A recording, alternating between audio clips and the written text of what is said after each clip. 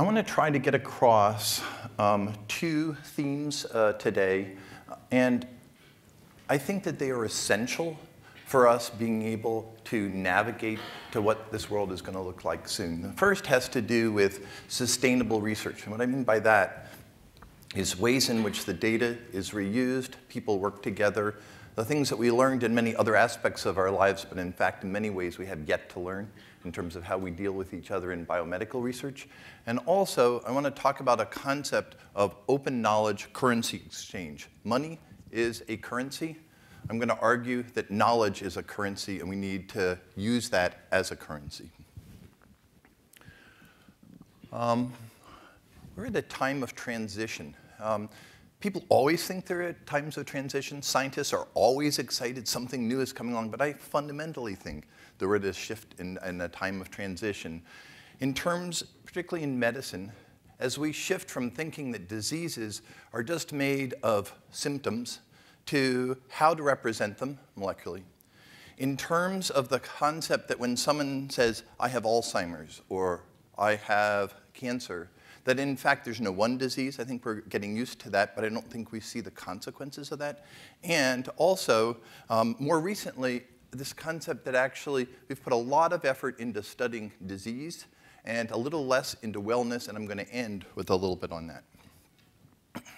But to do this, I want to start, and I want to give you a representation of, of, the, of the way that it's important to look at how utterly complex we are finding those simple um, organisms, our cells, diseases to be. And I think um, this makes a lot of sense after uh, John Quackenbush's uh, um, talk yesterday. I'm just going to give a couple of examples.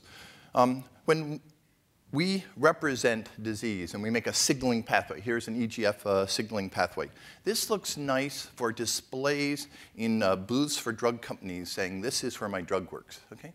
But the reality is that in any one of those pathways, if you disrupt any protein along one of those signaling pathways, it ends up that not only do you change the pathway, duh, that's like a transistor in a radio and you pull out one part, but this is important. You change the function of every other component on that pathway, not just the one you pulled out. Nice paper, Frank McCormick on the RAS pathway, showing that last year. Another way of representing this is um, how many of you have seen examples where someone has taken expression profiles? I used to do a fair amount of work in that area. And you'll watch some group say, here is a way to build a classifier. Here's a way to represent different uh, components, different categories of a disease. And then you watch paper after paper come out, and everyone has a different view of what that is. Now, this is important. This is not because someone did it correctly and another person did not. This is because, in fact, there is a diversity, a complexity in who's looking at whom and what they are looking at, not necessarily the tool. And I think the best example of this comes um, from a very powerful concept, which was let's use synthetic lethal screens to understand uh, ways of finding therapies for activated RAS. Here are four friends of mine. Each had a, a, a paper out I don't need to now tell you how often their results agreed with each other. They didn't. Okay? Four great people, they all did good experiments. Everyone came up with a different answer. So wh what is going on here at a DNA level, you could say at a protein level, at a functional level, is that we have been comfortable looking at representations of, of diseases, of pathways. Here's that EGFR pathway Here's uh, a P21, JAK, STAT.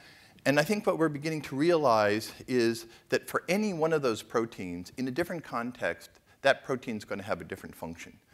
And so we need to be able to think about how we're going to work with that level of complexity. And I think it was, was really nicely said by um, Eric Schadt. I work a lot with Eric Schadt. And he said, you know, our brains are, high, are hardwired for the narrative. We love storytelling. We like things going in some linear fashion. But in fact, that's not how we got through evolution. That's not the way the cell is put together. Instead, every circuit has an impact on every other uh, component of the cell. And so I think if you extrapolate out like that, and I think we're still barely able to do that in terms of thinking about it. It's very much like what the physicists did when they began looking at subatomic space and all the rules that Newton had uh, developed were um, no longer making sense. We have to acknowledge that we're alchemists. Chemists passed through that phase of being alchemists to chemists in the 17, 1800s, the periodic table. And I'm going to argue that what we're missing and the reason why it's so inefficient to do drug discovery, to figure out what's going on, is that in fact we don't have the rules. And I'm going to talk about what it takes to actually develop the rules, not just this is associated with that. When I found that, that's alchemy, okay? And I think we have to put a fundamental uh, amount of our time looking at what it is to discover those rules if we're going to be able to work more quickly. Why this is a problem I think can be represented by these two questions. The NIH, uh, many uh, funding agencies have over the last 20, 30 years put a, a strong emphasis on saying, you must do hypothesis-driven research. If you're not doing hypothesis-driven research, what are you doing? Okay? And the problem is that when a scientist sitting in a lab, maybe not even in Seattle, um, trying to do their hypothesis-driven experiment, and they want to get their work into a one-name journal, what they do is they extrapolate from the particular to the general. They say, I found this, this is happening here, therefore, and this big therefore goes in, and then out on the, on the waves, you know, in the, in the um, scientific and the public press is, scientists finds this does that. Mm -hmm. And the reality is when that happens, you've just locked in a dogma that has very little evidence outside the particular. And we have to have a way of being able to embrace those multiple particulars if we're ever going to be able to understand that general. And so the um, slightly audacious uh, statement I'm going to make here is that actually, maybe, we'll be able to understand the rules more by looking at adjacent truths and the differences between those adjacent truths that we need to come up with a way, and I'll show you some ways to do this, where data that comes in on one experiment and looks this way, and another person has data that comes in in another way and looks in that experiment, et cetera, et cetera, that that actually is really valuable. Instead of that being discord, noise, that's signal. And when we begin to think that way, then we begin to think the way the physicists have, then we begin to talk about going to a data-driven world of biomedicine. So let's look at what it is that in, is involved in going to that data-driven world of biomedicine. And the good news is if you're willing to accept that level of complexity, fortunately, in the last 10 plus years, there are lots of tools that have been popping up that no one ever had before that I'm going to argue are actually very valuable in actually trying to do that deciphering. The first, everyone is familiar with. this is a concept of being able to generate not small, but super uh, large amounts of human omics data. And I mean RNA, DNA, RNA-seq, et cetera, et cetera, up to uh, proteomics. So I think everyone would say, yep, I have that at my, uh, at my beck and call. The second, and this is important, is if we're going to get out of those ball and stick diagrams, there have to be ways to simultaneously represent a protein or a function in multiple dimensions. And network modeling is a nice way to do that. And people who work in that area, I think, are really allowing us, allowing us to visualize, but also more than visualize, to conceptualize what's going on. The third is 10 plus years ago, the concept of saying uh, there are three hospitals that say um, uh, Caltech, working with Stanford, working with the Curie, who wanted to do a project, you had to literally move that data around. The, the ability to actually store and host data in the cloud where anyone can get to changes the game. If you're a postdoc and you're interested in working on a project, you don't have to sit next to the data that's being generated. The third, along those themes, is that the amount of data that we're generating and the ability to look at that is no longer feasible to assume that the person who generated that data is the right person to be analyzing that data. And so last year, we wrote a little article about Metcalfe's law, suggesting that actually the sooner we uncouple those that generate the data from those that analyze it, the better off we will be. And that takes into account the scientists who are squirming in the audience going, but I know the data so much better, and, and I'm the only person who can look at it. And to that, I would say we need to learn how to generate that data and annotate it in ways where actually others uh, can use it. Where data is not just uh, a product for uh, a paper, but actually for others to use.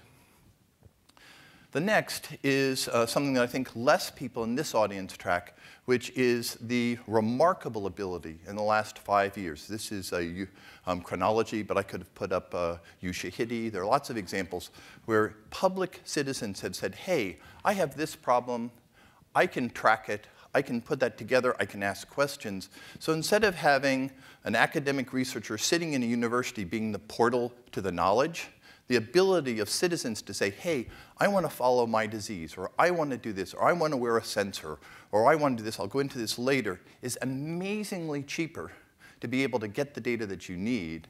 And so that, and then the last tool is simply, here's Zoran Popovic in uh, Seattle, um, who, with uh, David Baker and others, recognized that passion is what it takes to actually solve a task, not a degree. And so I hope everyone knows the examples, um, whether it's Foldit, whether it's Eterna, where you can ask citizens who have an interest in a problem, can you solve this problem? And the, the ones that get the, I think, appropriate recognition are things that are um, you know, protein biophysics, PhDs who are doing it, and the people who win these uh, challenges often are a housewife in Surrey, puts the kids to bed at night, and then goes off and, as an avatar, beats the people who are working on those problems. So if you put those together, six that I mentioned, omics data, network modeling, the cloud, this uncoupling from data generators from analyzers, the ability to actually have citizens and public share their data, and then who are the experts, are the components that we've been thinking about the last five years. And Sage Bionetworks is a small group, it's about 40 individuals, and what we're interested in doing is running an accelerator not that spins out companies, but spins out how you could do science. And particularly, how could you do science in new ways that hopefully those pilots, similar to a biotech accelerator, give people something where they go, oh, I don't really like what you did here, or this was sort of stupid, but I'll do that. So our job, as we see it, is actually to take and try out new tools. And that, what I'm now going to do is give you four or five examples of things that we've been working on that, again, I, I hope what people will do is come up and say, that's sort of interesting. I might be able to do this if I could, and then evolve it from there. That's what we're really interested in. You can get on to that uh, information, look at the website, um, sagebase.org. So here's the first tool. People have been communicating by writing journal articles since a time when it actually made sense to do that. But now, X hundred years later, you could argue it doesn't really make sense in this digital age to sit there and wait for something to come out in, in paper and a year after you've done the work, get credit for it, and then wait another year for that to come back. So in the last 10 years, um, I'm interested in, in a uh, show of hands here. Um, how many people have worked on or know of GitHub? This is awesome, okay? Because it's just what I wanted to do. I, I, there were some people who didn't put their hands up, but three years ago, that was uh, maybe 20 people that would put their hands up, or at least four years ago. Um, so what we did, and so I don't have to go through this in, in much detail, was we said, this is unfair. I'm jealous of the software engineers that can sit there, track their code, have other people see it, get credit for it, move it on, et cetera. Why don't we have that capability for the files and the data and the things that we're evolving as ideas? Notice, not as software code, but as ideas. Why can't we do that in biomedical research? We should have a GitHub equivalent. So Mike Kellen, engineering team there, now over the last four years has been building up Synapse. I think many of you have heard of this. It um, shifted from alpha and beta. It's now out. People are, are using it. And what it assumed was medical, biomedical scientists have the same interest that software engineers have to be able to have that type of community. Um, and so the ability to have the history captured, work anywhere, social, et cetera, are there. Um, the heart of Synapse whether it sits on Transmart, whether it sits on DataSphere, whether it sits on uh, some uh, company uh, um, uh, or biotech uh, IT platform, whether it sits on something that's in the NIH, as I'll show you. Its whole concept is we need a workplace where people can talk to each other and actually not do it at the time of publication, but get their credit for who, who's doing what instead of not who says they're doing it. So provenance is essential. Provenance basically says, I'm tagging I did this, this is what I did, and here's who did with it. So whenever you go and look at something similar to the evolution charts you had, it would be very easy to do that with this because this actually gives you a tool that says, here's who did what, what they did with it, why, and it actually um, allows you to um, all the way go up to building uh, papers like that. So that's provenance. I want to give you a couple of quick examples because you might be going, I don't know how I would use that. The first example is the TCGA data in cancer. Um, massive amounts of data were generated on 20 different uh, tumor types. And um, I think you know all the layers of data that were there. After this was all done, people appropriately said, I would like to look across all those tumors, and I'd like to see are there patterns, are there some tumors that like this or that, there's some genes that do this or that. And so uh, Larsson Omberg and others basically said, can we use Synapse and put all of the data on TCGA, which was sort of like an Excel sheet, sort of not very easy to get to, um, and curate that, put it on Synapse, make it available, and watched over 100 researchers from 30 institutions start. And what they did was they said, I want to write this paper, I want to write this paper, I want to do this, I want to do that. And we had about 60 or 80 groups that said, I'm going to try to solve this or that. Nine months after they were given the data, there were 12 articles in NPG journals that had been published. Okay, nine months it took. Okay, and the reason it was so fast, and now it's up to like 20 or something like that. There was one that just came out this last week. It's not just NPG journals. Um, the concept was that people were actually working well enough with each other, putting their data in ways that basically was so easy to drop it in and get it reviewed and get it accepted. The second is part of the NIH AMP project that some of you know, which brings in industry and brings in academia. And in this instance, there were three slash four large hubs in Alzheimer's that were expected to do experiments where they were working in four different uh, systems from human to, uh, to Drosophila. Um, there were modifications that all these groups were doing in different ways, and they were generating all this data. So what we said was, can we take all the data in each of those universities? So the Broad was on there, um, the Mayo Clinic, et cetera, and let's host all of the data quarterly that all of those universities are generating and allow the technology partners that we're working, so this is industry, places like Takeda and GSK, and allow people to see the data and use that as a way to evolve their experiment. So instead of saying, I have a tech transfer officer that won't allow me to do this or that, right? It makes a lot more sense to be able to get that out and get those ideas uh, moving along. And so Synapse is being used across all of these universities with the um, biotech and, uh, and uh, industry partners. And the concept is you, on a quarterly basis, are share sharing everything that you're developing along the way to help each other. And the third example, which is one in the clinical world, which I think uh, is probably the most interesting, stems from a paper that I hope you saw at the beginning of this year that came out from Olli Kallioniemi. Um, they have an amazing paper out there that I think trumped the work that was being done at Memorial Sloan Kettering or MD Anderson or any other place I know on personalized medicine. So look at Olli's paper. I'm saying that that paper that showed what happens when you take AML samples, ex vivo you treat it with compounds and shRNAs, you do multiple layers of DNA, RNA, um, protein analysis, and you guide that patient's care according to what you find there, to me was the most remarkable use of data to guide clinical care. So I was up in Helsinki, I was talking to him, and I knew that Brian Drucker in Oregon Health Science University was doing work that was somewhat similar. I knew work that was going on at the Hutch, down where Dan Von Hoff and, and uh, Phoenix Children, and we said, let's take all four of these programs. Usually these people would be vying for the plenary talks at ASCO and said, why don't you four groups share all of your data in real time on those patients? Why don't you share the data you're getting ex vivo? Why don't you share all your omics? And let's run virtual tumor boards that share the data across all of those sites in real time.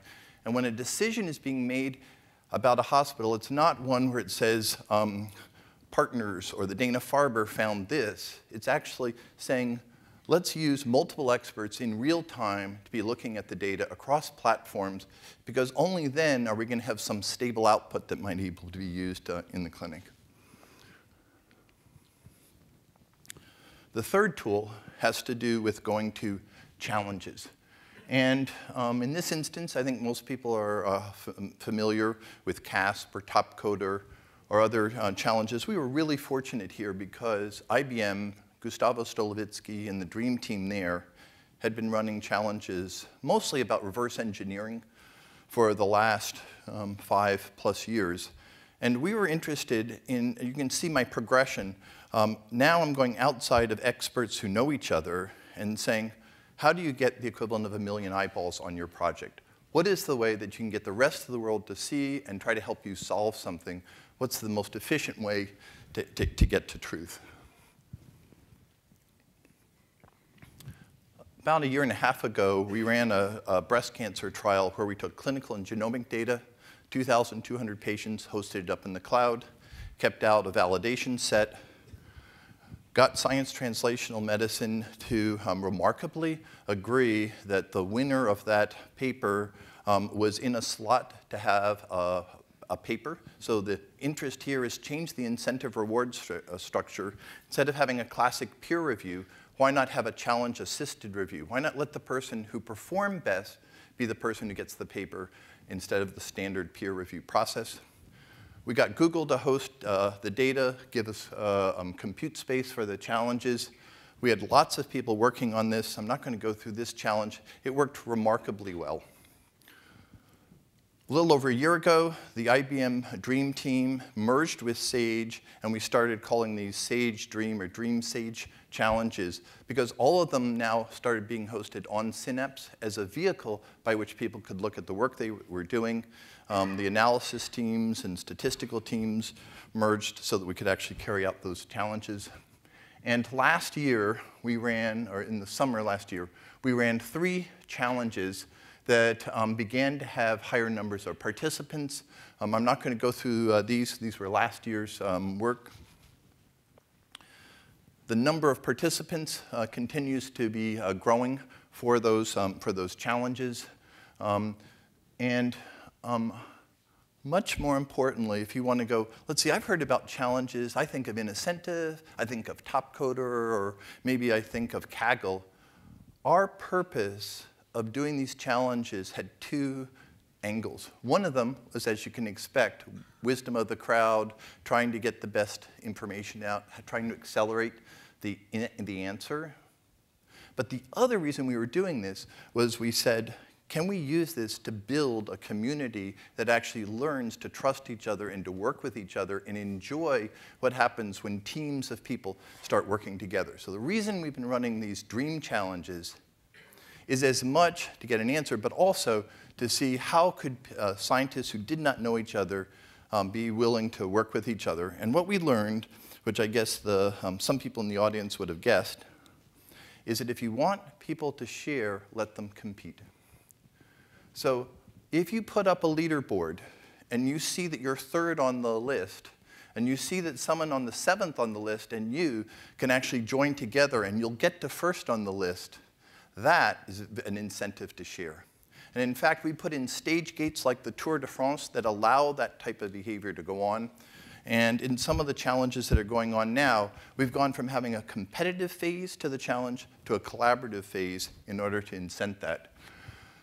More and more, what we're finding now is that people are beginning to enter challenges to change their uh, careers. So the person on the top was a technician here in Boston. Um, he won the whole cell uh, estimation challenge and got into graduate school very rapidly on uh, the awareness of who he was. Wei Yi Cheng was an electrical engineer um, working uh, off of the medical area. He got hired directly into being a faculty member at Mount Sinai. And we have many examples. So people are going on to these challenges for the fun of it. They're going on it to solve a problem. They're going on it to get the recognition the credit to move their careers along. I want to talk about one of the uh, challenges now because I want to show you how you can use a challenge to accelerate the adoption of an interoperable standard, which is a different concept of how you have standards. How do you build standards? So um, I think everyone is aware cost of the genome is dropping. I think um, the um, computational costs are not as well known. And yes, they're um, expensive. I think probably this is going to get covered uh, here this uh, week. But what we were interested in was not cost. What we were interested in was if you look at the accuracy of the calls in cancer, and you look at what is done at WashU, look at the Broad, look at uh, the Wellcome Trust, you don't want to know about the mismatch and the overlap. Same way, foundation medicine versus Okay? There are differences in the way somatic mutations are called in cancers. People have different methods, and everyone says, I have the best method here or the best method there. So we thought was, let's run a somatic mutation calling where we start with synthetic tumor normal pairs, then we go to real uh, tumor normal pairs. This is driven by um, Josh Stuart at um, uh, US, uh, sorry, um, Santa Cruz and um, uh, Paul Boutros up in, in Ontario. And um, you, it, it's open now. You can get to the data. You can look at it. You can see what's going on. What's interesting is that we had certain expectations for how hard it would be to solve these uh, problems. We're in the middle of challenge one, challenge two. Um, we had not expected the number of teams that were um, entering, but the thing that was most unexpected was the solutions that are coming out are an order of magnitude better than were there. It was fun to look the Illumina team come in, not quite at the top of the pack. It was fun to see other researchers come up. There's a team, I think it is in Michigan, I think it's for this challenge, it's blowing everyone out. We do not quite know why. So if they're in the room, congratulations, congratulations, uh, Michigan. Um, Miles Axton and Nature Genetics have been um, a, a, kind supporter in terms of uh, teaching us how to work with these. There's an article that came out this last week on this uh, type of process. But why I'm bringing it up is imagine other standards that we use um, and think of how challenges could evolve those. And this is a challenge that doesn't have an end. So we're basically going to run this continually and use it as a way so that people who have um, uh, submitted the best answer are, are, is actually the way that all the analysis in the world is being uh, done. So I think um, this team with Paul and Josh and Adam Margolin are developing a new way to have something that the world uses that's instead of doing it through looking at, at how it's published. I now want to go to something that is, um, again, painfully obvious to some, and that is we're doing a pretty good job of getting genotypic data, and we're not doing such a good job of getting phenotypic data. And we need those. If we're going to solve disease uh, characterizations, we need to have good uh, amounts of data in both realms. Last year, the Robert Wood Johnson Foundation funded us to work on a project called BRIDGE, which is asking can citizens, can patients play a different role, not just as uh, people who are um, uh, um, having disease, giving small informations, but can they actually be partners in, in the research uh, process? So we've been interested in what does it take to bring in people who have diseases and treat them other than just as subjects and basically assume that those partners, whether they be patients, researchers, or funders, should have more equal roles. A lot of health tracking has been tried, is going on in terms of you know, sources of billable procedures. You know the, the big players. For uh, patients as individuals on platforms, you know some of the examples that have gone on there. For patient communities as market segments, there are various leaders there.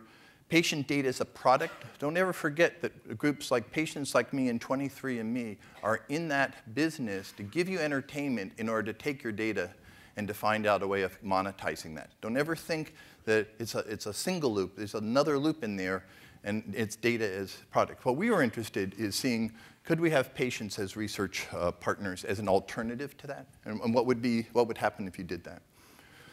So what we assumed was the loop that most people think about as citizen doctor, I think that's an important loop.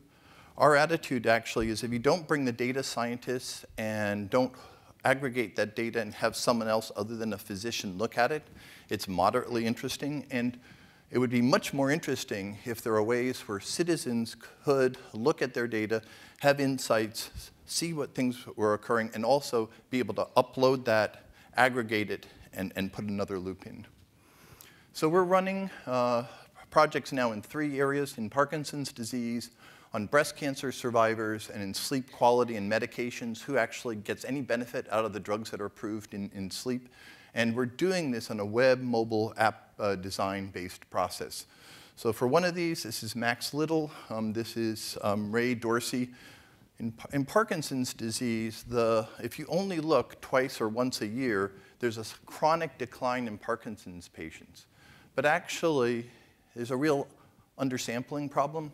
And if actually you look in real time at what's going on in their disease, if you had a way to have objective feeds right off of the patients, what you'll see, like in many diseases, is the day-to-day variation is an order of magnitude more than the change that's going on.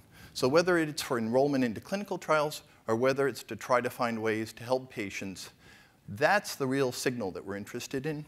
And so we've been working on ways to take objective, subjective data, passive feeds, um, uh, structured tests, surveys, and have that data flow up into the cloud so that most of the health apps that are being designed today have this inner loop. They have an idea, I will look at my data, I'll be interested in myself, I may compare it to others. That's nice. But it's really a travesty when I'm talking about sustainability because do you know how hard it is to get your data off of this? Or do you know how hard it is to get data from Medtronics? Okay. Do you know how valuable it would be if we started being able to share that data and aggregate that data? So we're interested in turning anecdotes into signals and putting that into the hands of citizens and patients so they can work with it. And the outer loop is one that says, as you take that data and aggregate it, put it up in the cloud, you'll make sense out of that, and you'll have a different loop than you do for what I'd say is um, health apps as entertainment. So it's thinking beyond health apps as, uh, as entertainment. And if you're a company who's trying to sell devices, that's probably should be your major interest. But actually, the patients actually don't have only that interest. They have an interest in what's actually done with that data. So these are types of designs that we've been uh, working on. So you could have mobile and um, web-based apps. The data could go up as study designs, come back to the patients. They could see what was going on. They could watch who was doing what. So this is the type of thing. It allows us to have questions running along, events, blood counts, um, looking not just at the symptoms, but what modulates. So think of an XY axis. One is all the data feeds we're using to look at objective data on the symptoms, and the Y axis being those that are actually looking at modulators.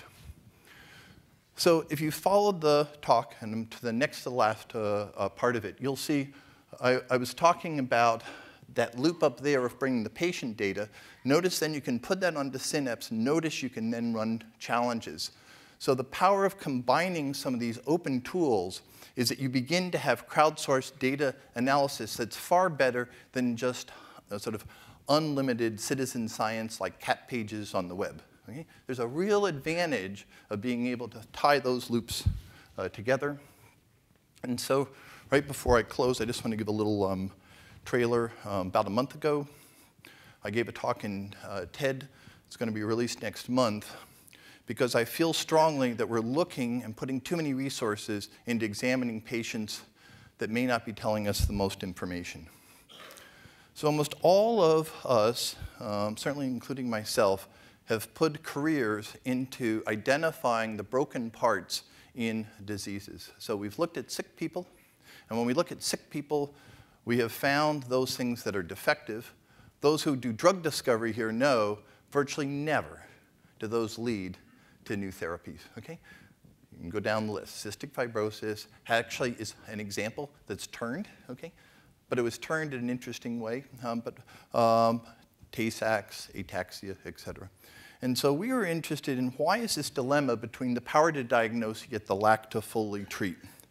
And so, in the spirit of Helen Hobbs' PCSK9, in the spirit of CCR5 and what was done in AIDS, in the spirit of Stu Orkin and what he did on the hemoglobinopathies, we've been working on a project that takes every single childhood disease, and among all those childhood diseases, finds the mutations that are highly penetrant, and then assumes that who you should look at is not those that are sick, that what you want to do is you want to go to adults over 40 who have no evidence of disease and find the unexpected heroes that sit among us that actually are the keys to developing the therapies. We believe if you want to accelerate drug discovery, the thing to do is to look for second site suppressors and to do it in a systematic way across all the diseases. So we're starting with childhood diseases. We're going out to look at a, a million individuals. I'll be more ready to talk about this uh, in about a month. So Today, I've talked about tools and approaches being piloted by partners to enable sustainable research. I want you, when you leave here, when you go to other talks, to go, are we doing this in an affordable way? Can we possibly afford to do it if you're siloing data here or you're not thinking who else can use that data? We're interested in expanding the pool of experts beyond those that are existing to the emerging experts because there are lots of reasons why more people need to be looking at it. So I'm going to pose three questions. The first is, how ready are you as a person sitting here ready to navigate this discontinuity between the way our research and biotech institutions currently are structured and the state of the nascent technology? I'm much more worried about the academics than, I'm, than I am about those in industry and biotech. They've learned a lot of the rules to work in teams that academics are unable to, to use because of the way we structure their tenure systems and reward systems. Um, there are skills that are needed to live in this world that I don't think we train people into having about collaboration, about how the, what you really want to do is to let others work with you and to work on your problems. And so the last um, think, thinking of an open knowledge currency exchange, I have two uh, questions that I want to end uh, with, which is, what will it take to have it be in the self-interest of researchers for them to ask, how can I get the most people looking at my ideas and data as quickly as possible? So what's it going to take to have that be the way we think?